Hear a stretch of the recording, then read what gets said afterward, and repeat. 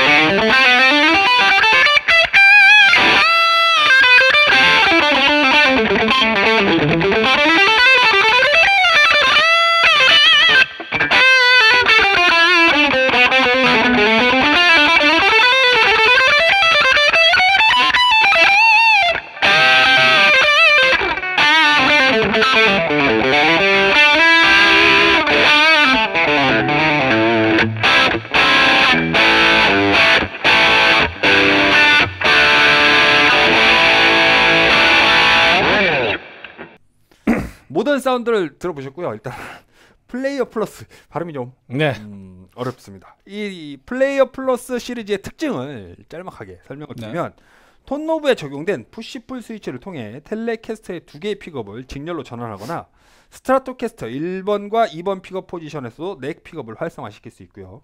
험싱싱 스트라토캐스터 모델의 경우 humbucking 픽업을 coil split으로 전환하여 single coil 픽업과 같은 톤으로 다양한 상황에 맞게 사용할 수 있다. 그러니까 여러모로 외관도 그렇지만 굉장히 현대적인 네, 그렇습니다. 느낌의 이 팬더다.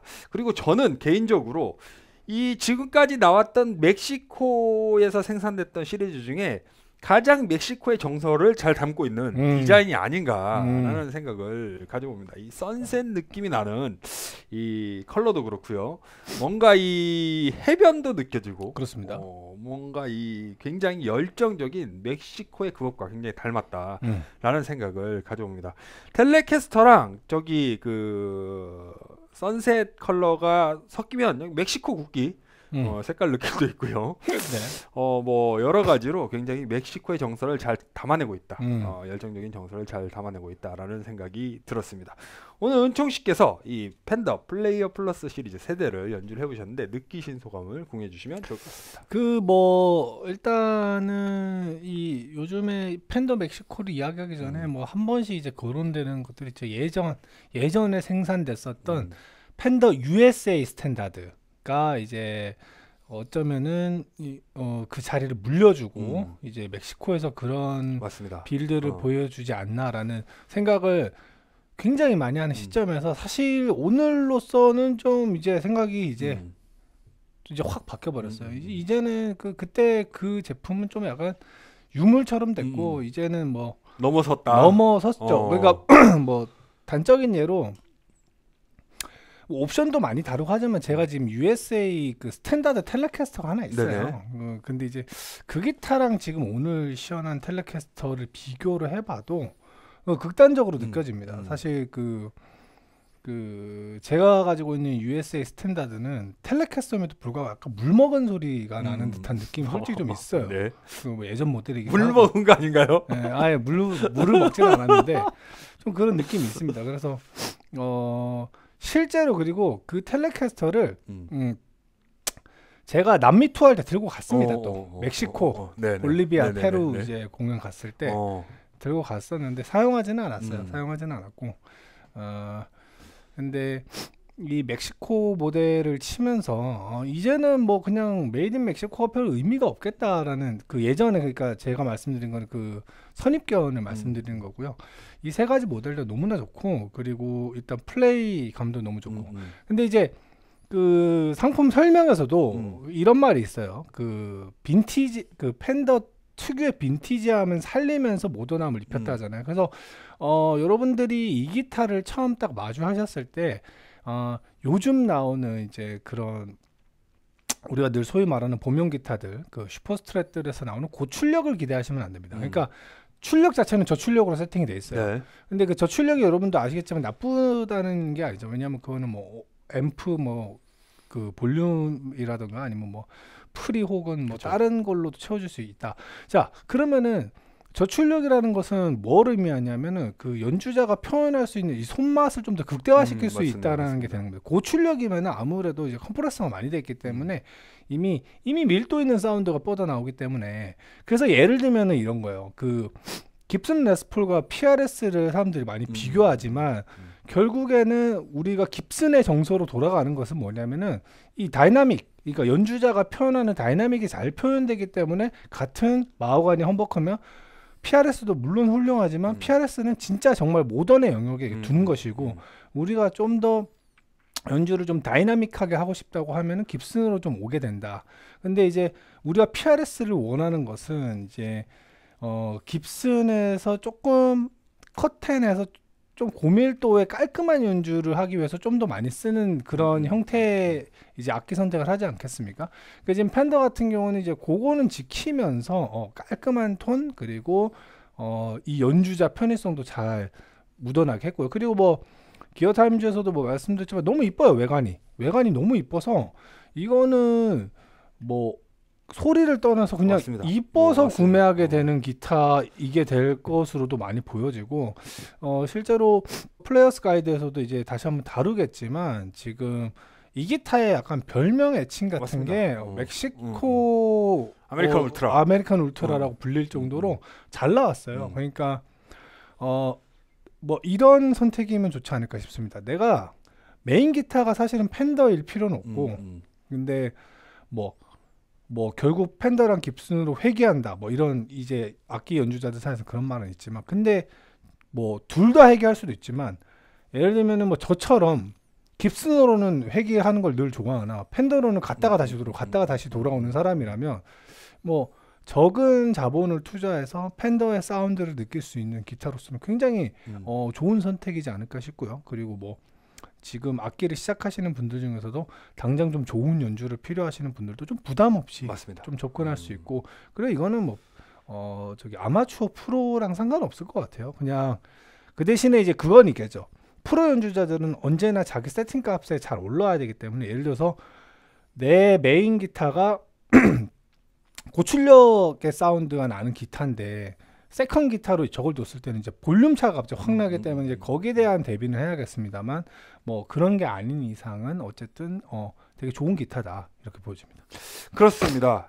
제가 어, 최근에 가장 많이 듣는 질문 그리고 저희 플레이어스 가이드에 음. 가장 많이 달리는 질문 중에 하나가 과연 팬더 멕시코가 정말 좋아졌느냐. 음. 어, 그 리뷰할 때 얘기하는 것만큼 음. USA 모델과 비교를 했을 때 음. 어, 그만큼 좋아졌느냐라는 네. 질문과 그 좋아진 것만큼 그 이상으로 가격이 오르지 않았느냐라는 얘기들을 많이 하세요. 음, 하지만 저는 말씀이십니다. 네. 저는 감히 말씀을 드리지만 이 팬더 멕시코 저희가 이 처음 음악을 시작을 하고 기타를 팬더 멕시코를 처음 접했을 때 그때 느꼈던 감정과 지금 느끼는 이 팬더 멕시코에서 느끼는 감정 그리고 이 완성도의 차이는 분명히 그렇습니다. 엄청나게 존재한다는 음. 걸 다시 한번 음, 설명드리고요.